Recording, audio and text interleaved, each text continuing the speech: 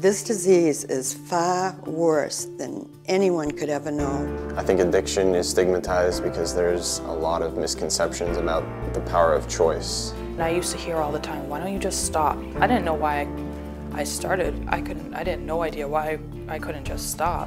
If you have the disease, it has to be treated. They have to know that there are people out there that are willing to help them. If you're cheering me on, that fuels me. Speak up, NH. Change the way we talk about addiction.